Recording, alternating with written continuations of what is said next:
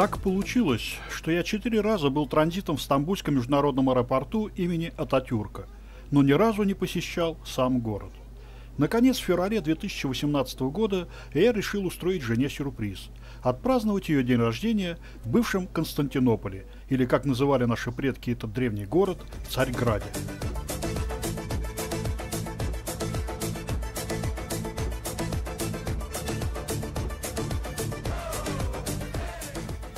Прибыв в Стамбул, устроившись в отеле в районе Аксарай напротив мечети Мурат-Паши, построенной в 1471 году, на следующий день мы отправились на обследование наиболее знаменитых достопримечательностей турецкого мегаполиса, в котором проживают более 15 миллионов человек.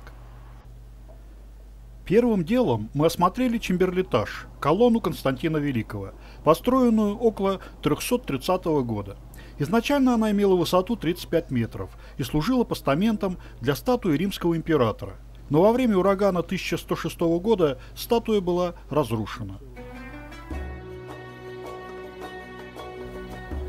После этого мы прошлись пешком до площади Султан Ахмед, где решили посетить так называемую «голубую мечеть».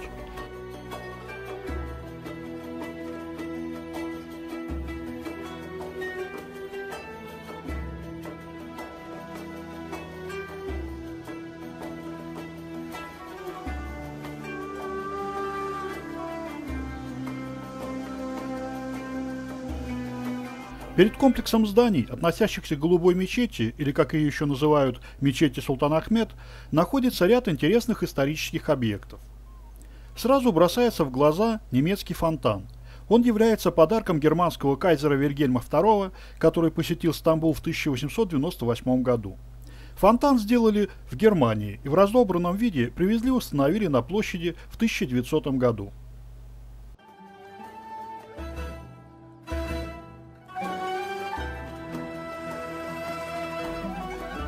На площади перед мечетью раскинулась череда древних колонн.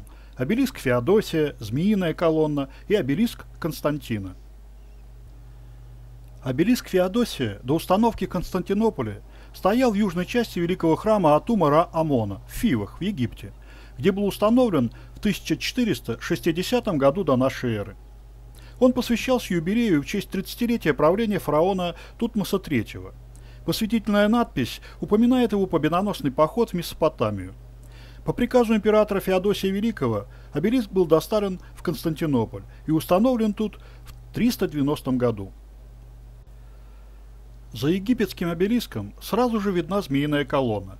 Она является сохранившейся частью жертвенного треножника, созданного из оружия погибших в битве при Платеях в 479 году до нашей эры персов во время греко-персидской войны. Изначально она находилась в Дельфах, и восьмиметровую колонну украшали три головы змеи. В 324 году колонна была перевезена в Константинополь. Еще чуть дальше находится обелиск Константина. Известно, что он стоял на этом месте еще в X веке, когда его реставрировали по приказу императора Константина Багрянародного. В то время он был обшит позолоченными бронзовыми плитами с изображениями военных побед Василия Македонянина и увенчан шаром. При разграблении Константинополя крестоносцами в 1204 году все это убранство было утрачено. Голубая мечеть оказалась закрытой до 14.30, но на это время у нас были запланированы другие мероприятия. Пришлось ограничиться только внешним осмотром этого огромного мусульманского сооружения. Это первое по значению и одна из самых красивых мечетей Стамбула – она насчитывает шесть минаретов и считается одним из величайших шедевров исламской мировой архитектуры. Строительство мечети было завершено в 1616 году. После постройки шести минаретов вместо запланированных четырех, голубая мечеть сравнялась по их количеству с величайшей святыней исламского мира мечетью Маджид Аль-Харам в Мекке. Это было признано святотатством. И тогда было принято решение пристроить к мечети в Мекке еще один минарет, чтобы она вновь превзошла все существующие сооружения.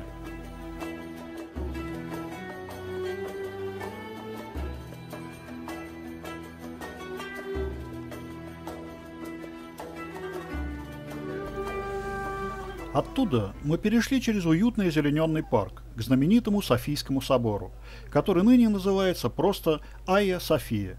Это бывший патриарший православный собор, всемирно известный памятник византийского зодчества, символ золотого века Византии. После захвата города османами Софийский собор был превращен в мечеть, а в 1935 году он приобрел статус музея. В 1985 году собор был включен в список всемирного наследия ЮНЕСКО.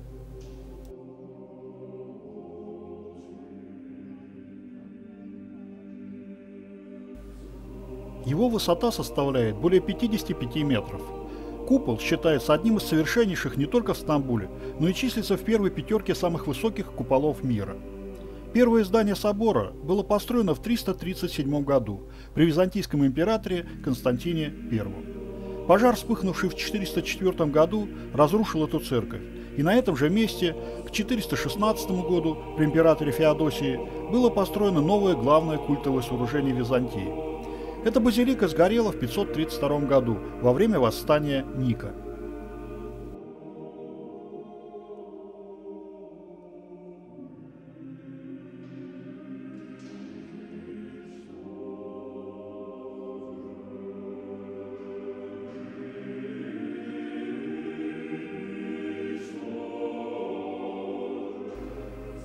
Спустя 40 дней после пожара император Юстиниан I повелел на его месте построить новую церковь под тем же именем, которая должна была по его замыслу служить выражением величия империи. По преданию, модель храма императору подсказал явившийся к нему ангел.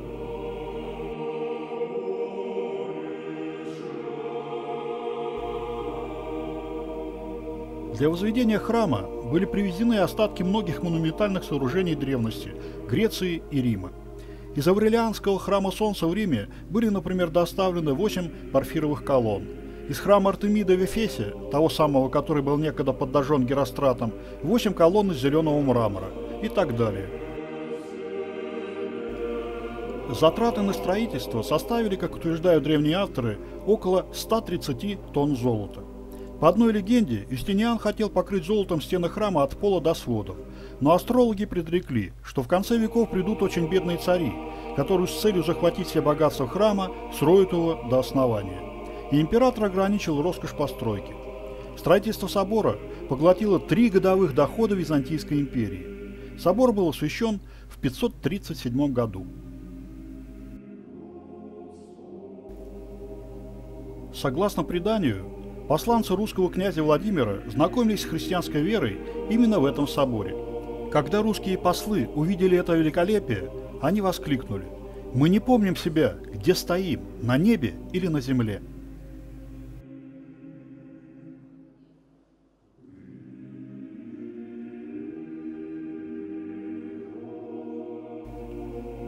Третий нынешний собор на протяжении более девяти веков был кафедральным собором Константинополя, главной церковью Византийской империи и всего православного мира. Последняя литургия в Святой Софии началась вечером 28 мая 1453 года и продолжалась всю ночь. 30 мая султан Мехмед II, завоевавший Константинополь, вступил в собор Святой Софии. Вскоре к храму пристроили четыре минарета, и он превратился в мечеть Ая София на долгие 482 года. Внутри храма бросается в глаза отметка, которую называют центром мироздания или пупом мира. На этом месте короновали императоров Византии. В настоящее время на стенах храма можно видеть изображение Иисуса Христа и Богоматери и цитаты из Корана на четырех больших щитах овальной формы. Мозаики Святой Софии представляют собой пример византийского монументального искусства периода Македонской династии.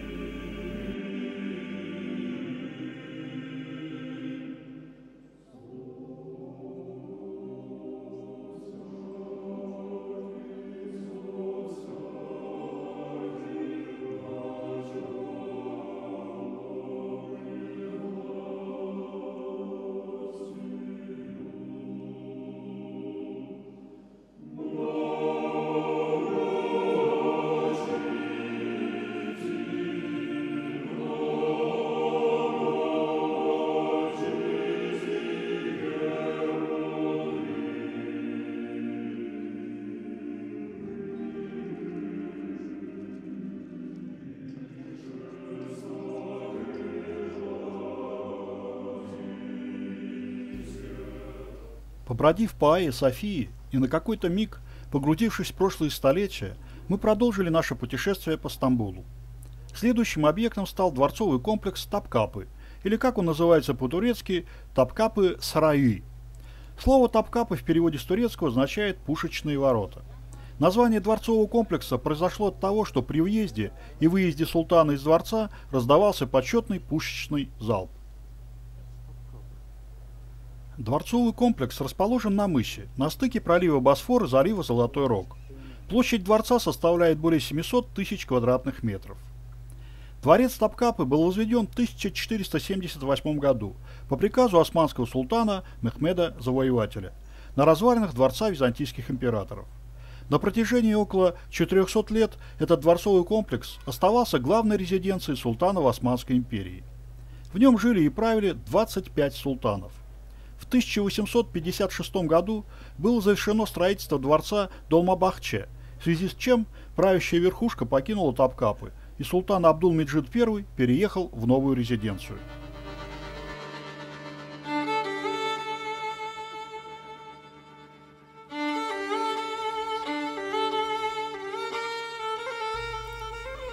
Дворец, по большому счету, не представляет собой ничего сверхособенного. Это значительно расширенный и несколько более богатый вариант ханского дворца в Бахчисарае в Крыму. По сравнению с персидскими дворцами и даже павильонами, которых мы видели очень много, на ум так и приходит фраза «сарай, он и есть сарай». Хотя некоторые объекты на территории комплекса вполне симпатичные. Например, музей, коллекция которого считается одной из богатейших в мире – Туда нужно покупать отдельный билет, и снимать внутри, разумеется, запрещено. Внутри дворцового комплекса находятся не только различные дворцы, но и многочисленные павильоны, гарем, служебные хозяйственные жилые помещения, кухня, хлебопекарни и так далее.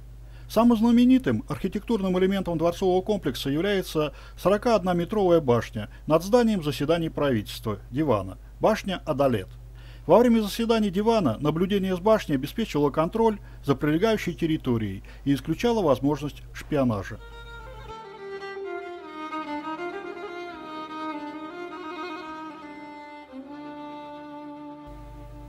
От багдадского павильона и павильона Софы открывается великолепная панорама азиатской части Стамбула, залива Золотой Рог и пролива Босфор. Это место вполне характеризует строки турецкого писателя Ахмета Расима – Лишь тот пейзаж красив, что навевает грусть.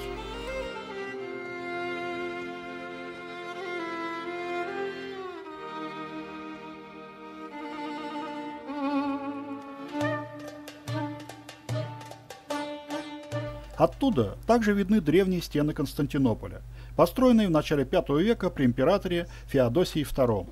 Их общая длина составляла около 6 километров – но сейчас остались лишь некоторые участки, да и те постоянно разрушаются.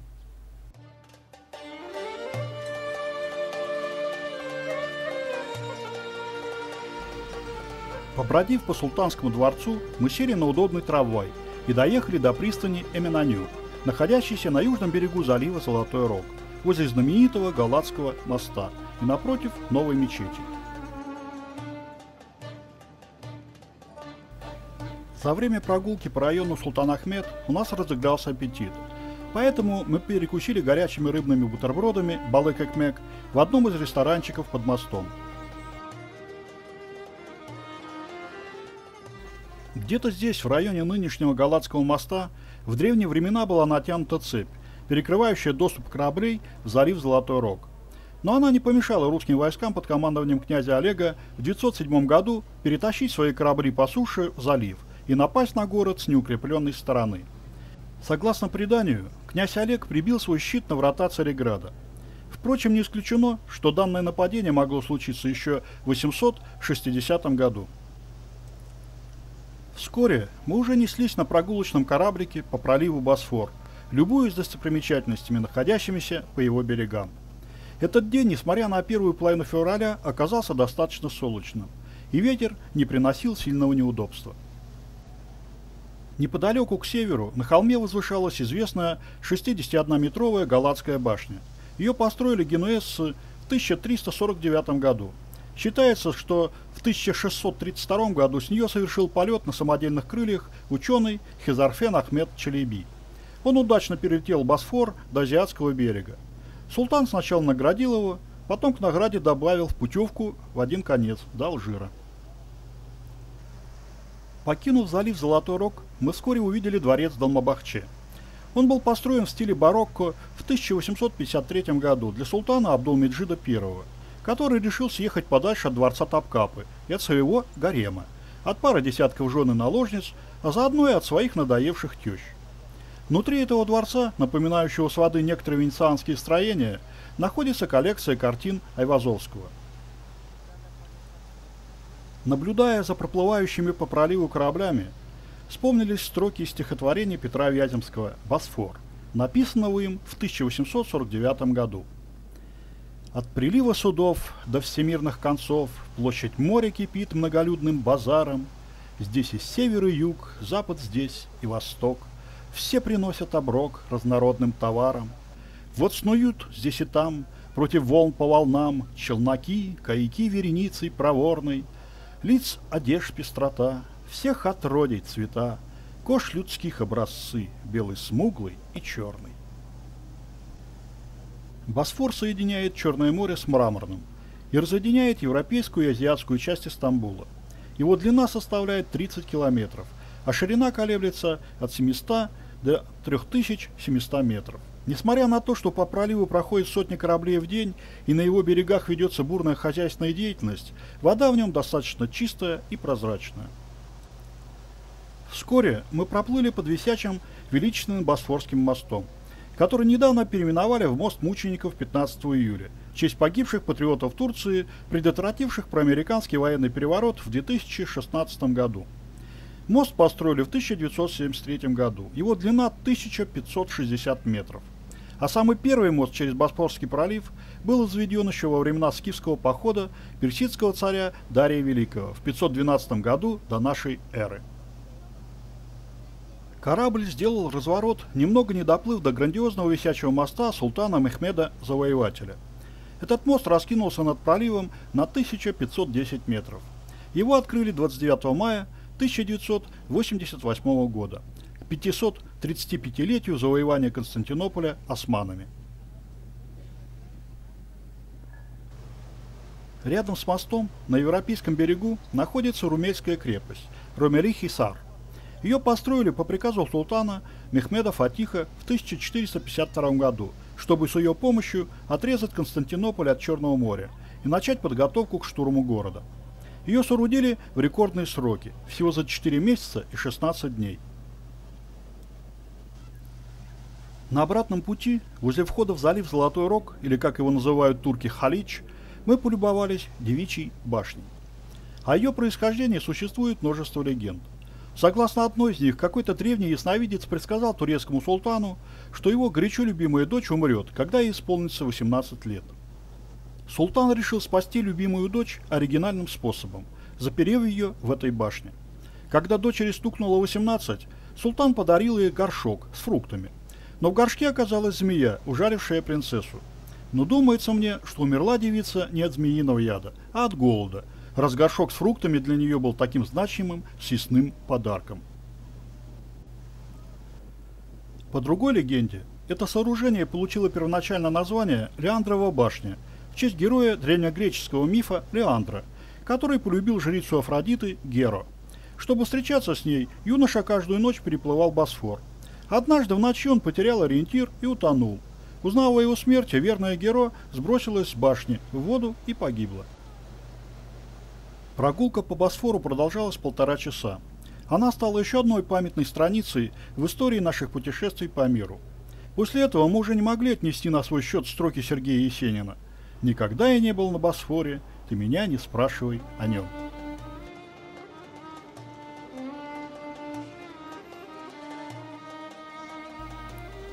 Вечером мы еще раз приехали к Галатскому мосту, под которым отметили день рождения моей жены.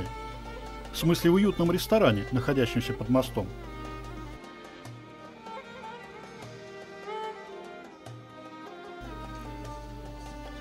Из окна ресторана открывался красивый вид на покрывающийся пеленой ночи город, постепенно оживающий бесконечными сияющими глазницами фонарей и гирляндами разноцветных огней.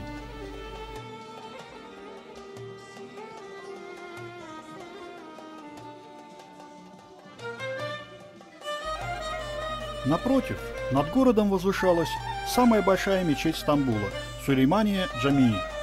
Ее построили в 1557 году. Именно на ее территории покоится прах султана Сулеймана Великолепного и его любимой жены Хюрем Хасаки Султан, Роксоланы, известных нашим телезрителям по турецкому сериалу «Великолепный век».